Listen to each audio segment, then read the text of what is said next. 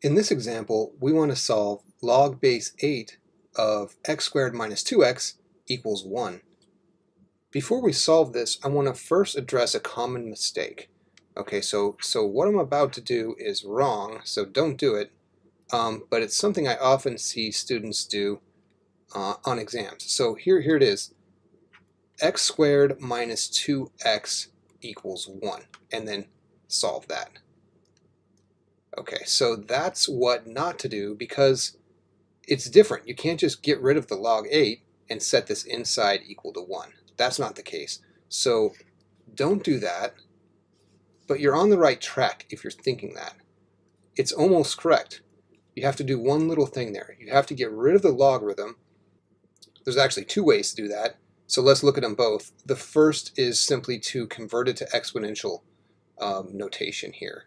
So we take our base, okay, we go around for the exponent, and then back inside for the equals. Okay, so that's how you convert it to exponential. What does that mean? So we take the base, 8, around for the exponent to the 1, back inside for the equals, x squared minus 2x. Okay, and now this is starting to look like an equation. Anytime you see an x squared, you should think that a 0 would be a good thing to have on the other side of the equals. So let's do that. So we have x squared minus 2x minus 8 equals 0. And from there we can factor. Hopefully, if it doesn't factor, we use the quadratic uh, formula. Quadratic formula. So we have x and x. Let's see. I'm thinking minus 4 plus 2 will do the trick. And then we set both of these equal to 0, giving us x equals 4, x equals minus 2.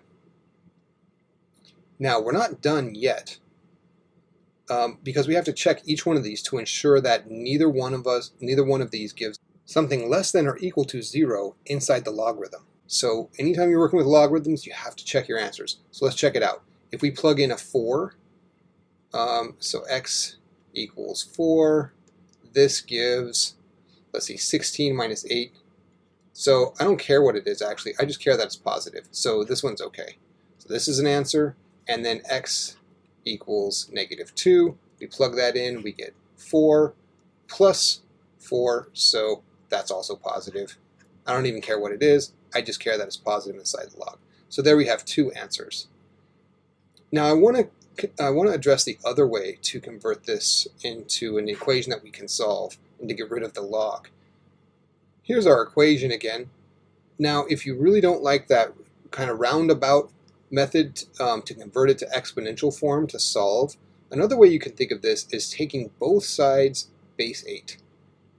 Right? So I'm, I'm now bringing this equation basically up into the exponents, and I'm taking both sides base 8.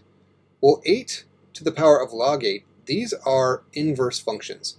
And when you take one function and put it into its inverse, I don't want to say cancel out because that's not entirely true. It's, it's, more like they undo each other, leaving us only with what was inside.